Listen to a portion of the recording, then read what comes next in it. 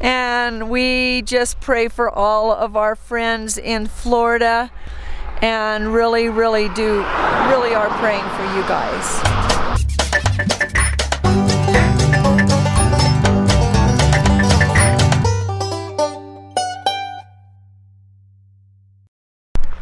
Behind us, you will see the top of Pikes Peak. Now, this is a different view than you've probably seen. Usually you see it from the Colorado Springs side, it looks very different.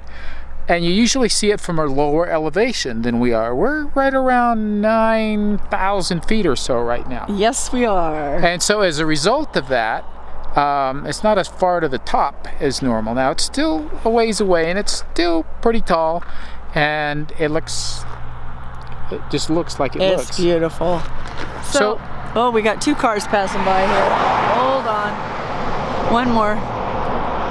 We just pulled over on the road.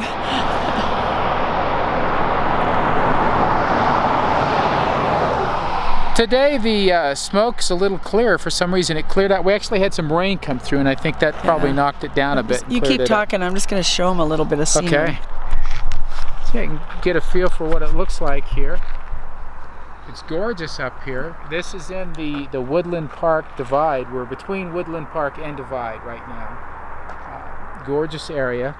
We we're actually looking at some property above uh, Divide just as a consideration. It's something we had seen we, we'd seen it advertised and it was enticing.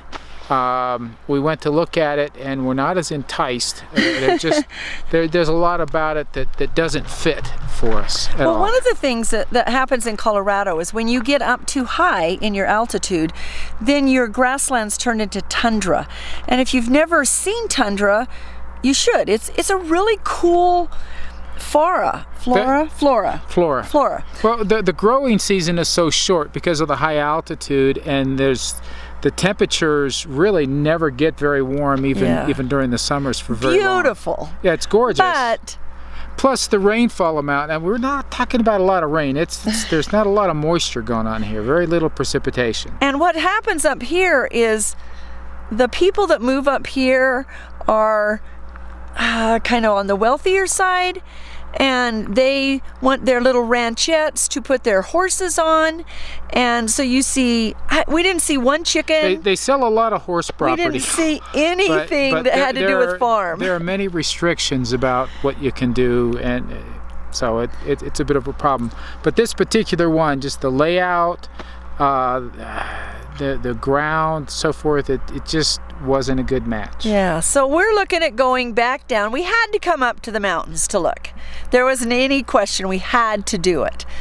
But we'll be going back down 3,000 feet to the 6,000 foot level in order to purchase our land, and Well, it's farmland. And by going a little further away from where everybody wants to live, uh, the the land prices are significantly less. So we will definitely be on the prairie, and you'll see Pikes Peak in the distance.